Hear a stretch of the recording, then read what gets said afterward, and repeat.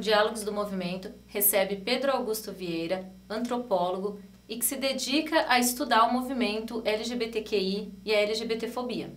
Olá, Pedro, seja bem-vindo. Obrigada pela presença. Oi, Tati, muito obrigado pela oportunidade de estar aqui. É uma grande alegria, uma satisfação estar aqui falando sobre esse tema que é muito importante. Pedro, para a gente começar, é, explica para a gente o que é o movimento LGBTQI e o que é LGBTfobia.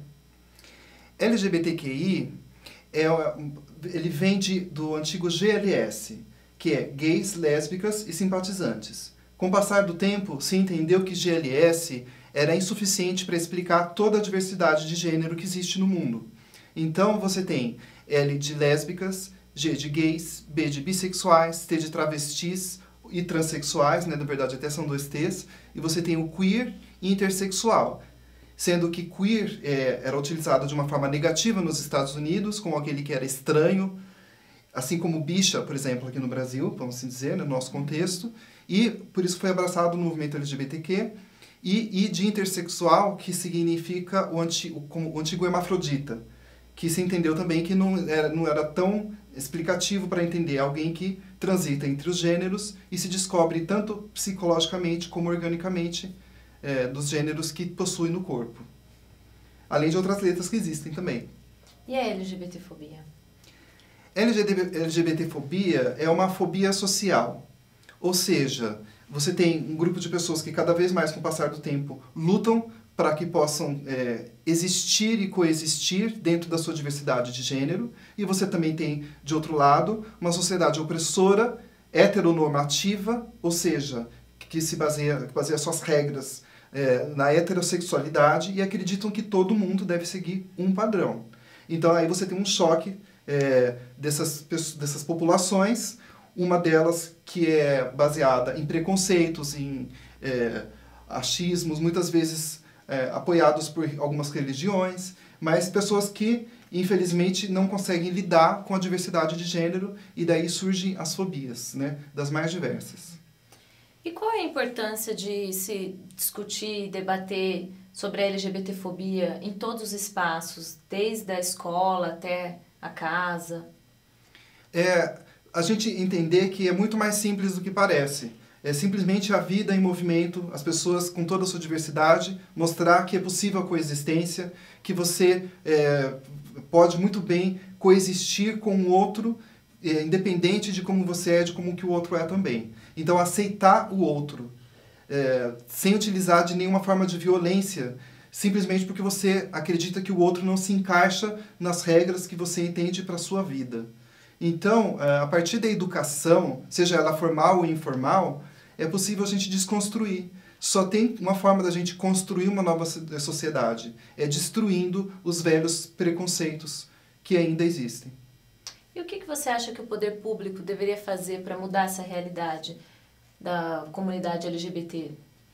Estimulando através da educação formal e informal, através dos meios de, de formação, é, como por exemplo a gente tem é, as, as, mídias alternativas, é, que também tem uma, trazem uma grande contribuição, então é estimulando todas as formas de comunicação e de informação. A partir do momento que a gente vê, por exemplo, que o racismo já é tratado como algo é, negativo, é, a gente vê o, o, impacto que causa o fato de uma pessoa ser assassinada é, com 80 tiros por ser negra, com a sua família, e como a gente vê esse impacto negativo na sociedade, é porque existe um movimento contrário ao racismo, de, que tra trata de mostrar que o racismo é algo ruim, e que tem, a gente está indo no caminho certo. Então, muito embora a gente viva numa sociedade racista, existe uma, um grande movimento antirracista. Da mesma forma, a gente tem que fazer um movimento anti-LGBTfóbico para que as pessoas possam finalmente desconstruir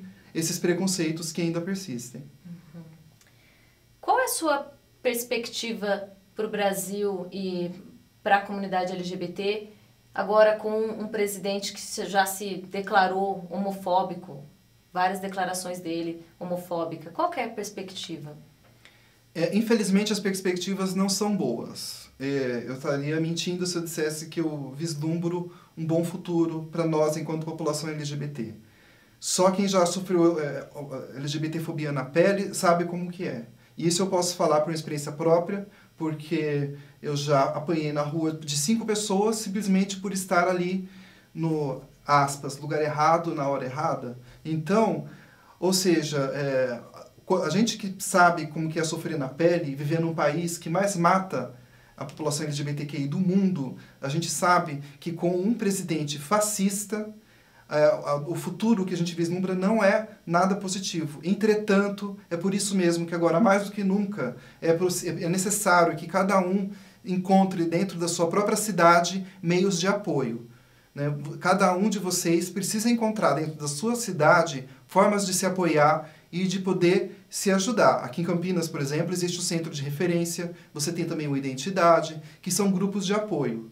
Então, a partir do momento que nós realmente buscarmos informação e que a gente puder buscar meios de apoio, de ajudar uns aos outros e, e concretizar aquela imagem do ninguém solta a mão de ninguém, aí a gente pode tentar reverter é, esse, uh, o estrago que certamente o governo Bolsonaro vai representar na luta contra a LGBTfobia.